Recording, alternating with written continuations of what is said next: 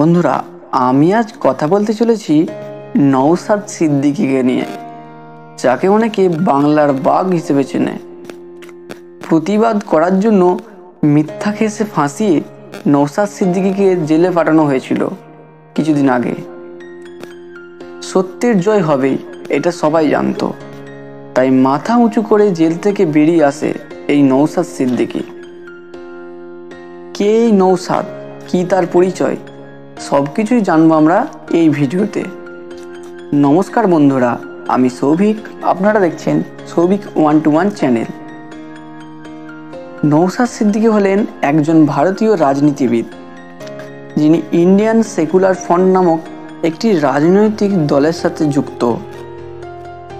বর্তমানে তিনি পশ্চিমবঙ্গের বিধানসভার ভাঙড় বিধানসভা কেন্দ্রের বিধায়ক হিসেবে দায়িত্ব পালন করছেন।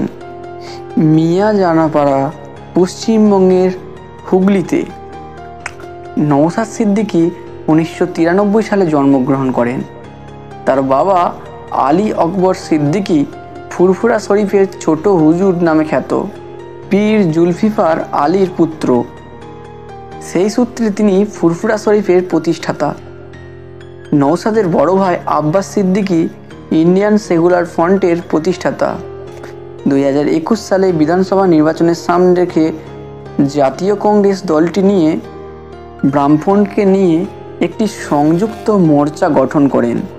দু একুশ সালে পশ্চিমবঙ্গ বিধানসভা নির্বাচনে নৌসাদ ভাঙড় থেকে নির্বাচিত হন। উক্ত নির্বাচনে সংযুক্ত মোর্চা এই একটি আসনই জয়লাভ করে। তো বন্ধুরা, কেমন লাগল ভিডিওটা? অবশ্যই কমেন্টে জানিও। এবং আমার চ্যানেলে নতুন হয়ে থাকলে চ্যানেলটি সাবস্ক্রাইব করে বেল আইকনটি প্রেস করে দিও। কমেন্টে জানাও কার বায়োগ্রাফি নিয়ে ভিডিও চাও।